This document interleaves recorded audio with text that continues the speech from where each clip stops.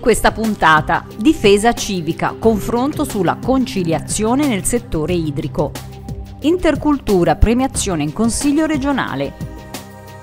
500 lettori partiti per il Salone del Libro di Torino. Il libro di Ugo Bardi sul futuro del trasporto.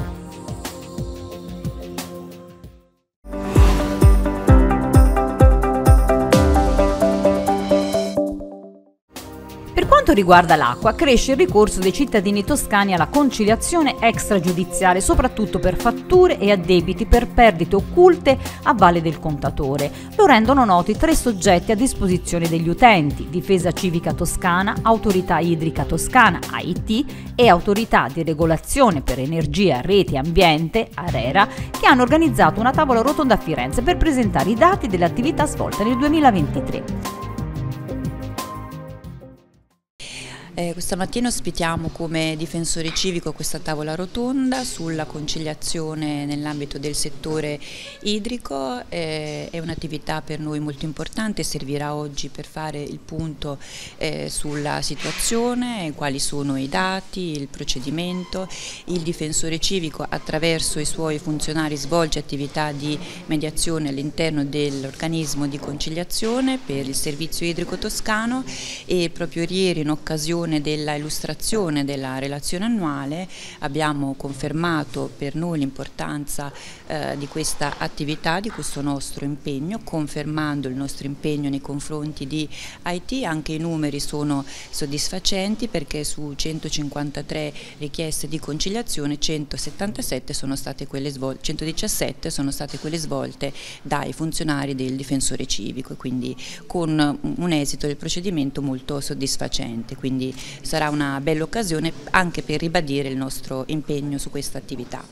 Beh, oggi eh, diciamo, si illustra quello che è un'attività che ormai è entrata a pieno regime, eh, che è quella del sistema della conciliazione appunto con eh, un, organismo appositamente creato in Toscana, gestito dall'autorità idrica toscana insieme al difensore civico e ai gestori del servizio idrico integrato e che consente a tutti gli utenti che hanno fatto reclamo per una qualsiasi eh, motivazione, un disservizio subito o un torto ritenuto tale da, dagli utenti e che non hanno avuto soddisfazione dagli, dai gestori, nelle risposte dei gestori, dei gestori, di poter avvalersi di questo strumento che è anche tra l'altro obbligatorio prima di accedere poi alle vie legali, alle famose vie legali, quelli con eh, ricorsi contenziosi e quant'altro. Quindi è uno strumento molto importante, soprattutto a tutela degli utenti che serve anche per non ingolfare i nostri tribunali di pratiche che in genere si possono risolvere con eh, diciamo, con un approccio più conciliativo appunto.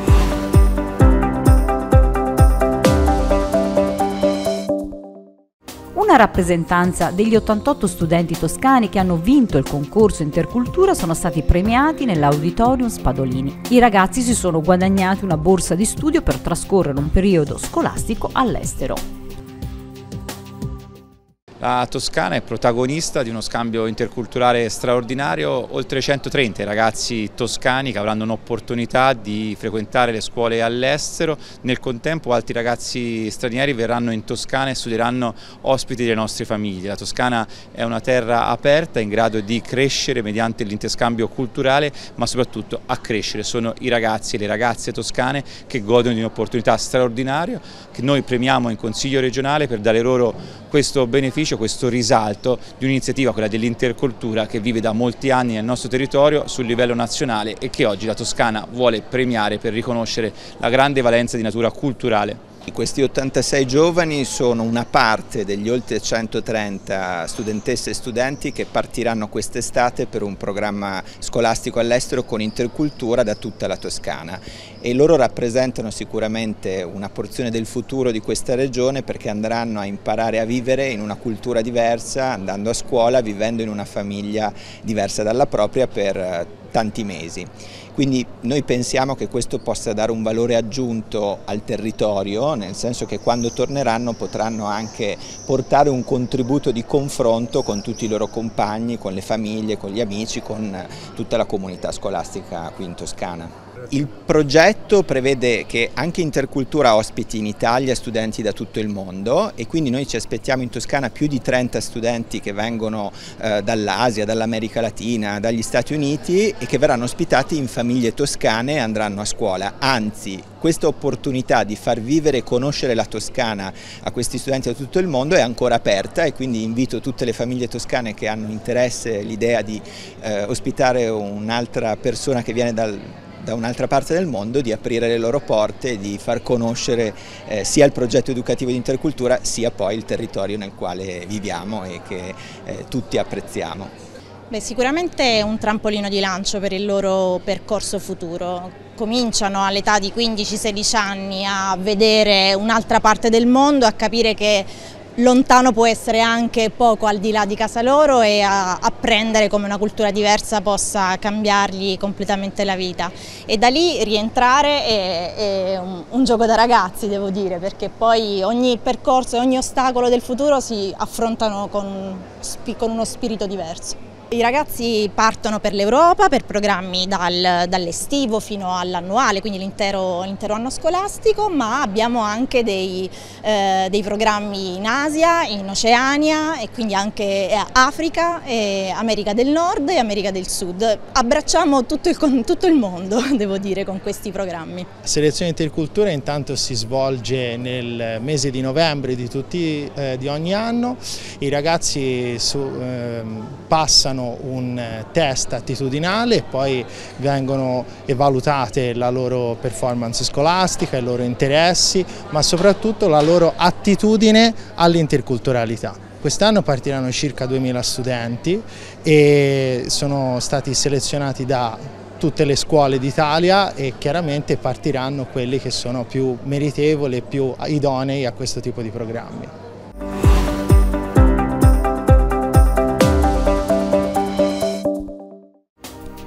A bordo 500 passeggeri lettori è partito lo scorso sabato dalla stazione di Santa Maria Novella di Firenze il primo treno dei lettori toscani diretti al Salone Internazionale del Libro di Torino. I passeggeri lettori con una corsa alla prenotazione che ha fatto il tutto esaurito in 12 ore sono riusciti a conquistarsi un posto gratuito su una delle sette carrozze del convoglio speciale.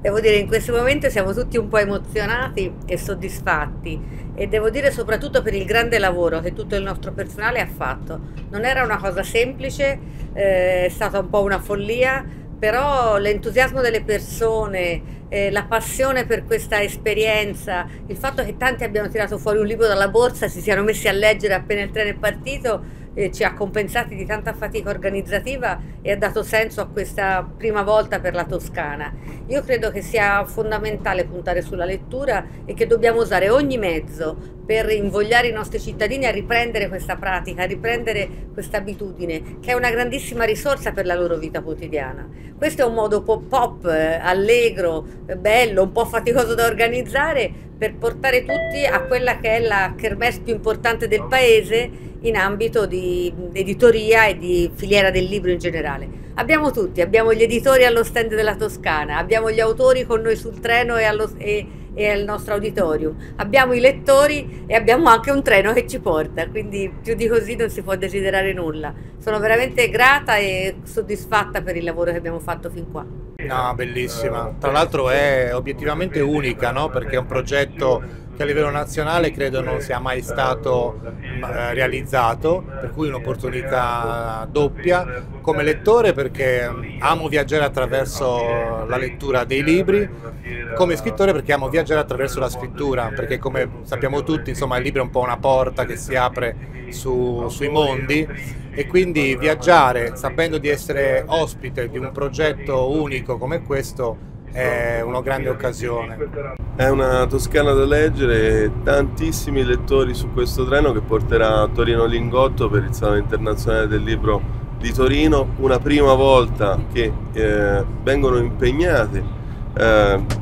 tantissime risorse per poter eh, raccontare quella che è la Toscana da leggere, Un, uh, tanti progetti, tante iniziative che dalla Toscana oggi proprio portano la loro conoscenza, sapienza, esperienza al Salone del Libro di Torino e con loro tantissime, ehm, tantissime persone, oltre 400, 450 persone che eh, sono salite a bordo e che in questo momento stanno viaggiando per arrivare a Torino. Noi racconteremo la Toscana da leggere, questa iniziativa del Consiglio regionale della Regione Toscana e della Regione Toscana è una prima iniziativa, una prima edizione e quindi questo viaggio di andata racconterà che, quali sono i progetti che oggi avremo allo stand della Regione Toscana, quali sono i progetti che insistono sul territorio della Regione Toscana e avremo anche le testimonianze delle autrici e degli autori che sono qui sul treno ma anche di chi sta viaggiando perché l'idea è anche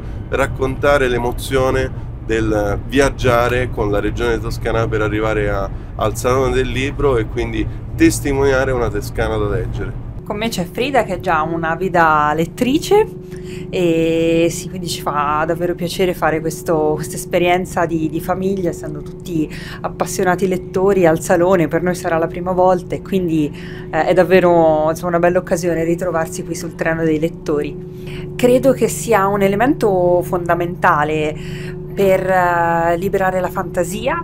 di tutto, scoprire, viaggiare anche attraverso le parole, i disegni e eh, perché no anche per eh, imparare le storie di eh, personaggi che, che, siano di fantasia ma anche personaggi veri sin da piccolini se narrati in un modo originale e fantasioso sono l'occasione per avvicinarsi sia a un mondo fantastico ma anche poi a quella che è la realtà, la storia e, e il contesto in cui viviamo, viviamo oggi quindi ogni sera abbiamo il rito di leggere due o tre, due o tre librini e speriamo di, di continuare così. Ma diciamo che sì, è una prima volta, ma credo che possa essere sicuramente una bella esperienza, visto che comunque non c'è stata mai l'occasione per andare al, al Salone di Torino e quindi abbiamo colto l'occasione che ha messo a disposizione la Regione Toscana per poter essere all'interno di questo treno, di poter eh, utilizzare, usufruire di questa opportunità e siamo molto curiosi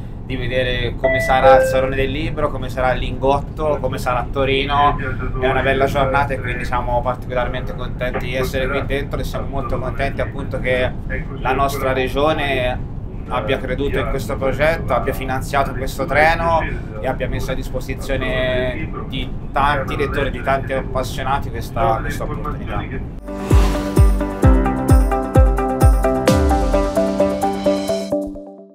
Il futuro ma anche il presente dei veicoli elettrici, la sfida di una nuova mobilità che faccia meno dei combustibili fossili, i nuovi servizi di car sharing sono al centro del libro Il futuro del trasporto, come la mobilità elettrica cambierà la nostra vita di Ugo Bardi, presentato a Palazzo del Pegaso. Uno dei tratti maggiormente interessanti dal mio punto di vista eh, di questo libro è che ad esempio vengono forniti elementi di valutazione rispetto anche a quelle che potremmo definire le fake news piuttosto che le narrazioni spesso eh, strumentali come dice il professor Bardi rispetto a questo argomento. Quindi è un libro ben scritto, interessante e che offre appunto un'occasione un per avere elementi di valutazione e noi siamo ben lieti di ospitare anche questo tipo di approfondimento e di dibattito per permettere a tutti di farsi un'opinione. È una rivoluzione, il punto focale, il punto centrale del dibattito che stiamo facendo oggi. Se parliamo di transizione verde, dobbiamo in qualche modo eliminare l'uso dei combustibili fossili. Ora il mezzo elettrico, non necessariamente un'automobile, ma in parte anche sia un'automobile, è il punto focale della transizione, perché se non ci liberiamo del combustibile principale, cioè quello che dà i maggiori profitti all'industria petrolifera, all'industria dei combustibili fossili, quello che è il petrolio dal quale si fa benzina e gasolio, a quel punto non avanzeremo veramente nella transizione, quindi questo è il punto centrale e anche la ragione perché c'è tanta uh, pubblicità denigratoria nei riguardi delle auto elettriche è perché funzionano e sono un rischio per quelli che oggi hanno i loro profitti sul petrolio.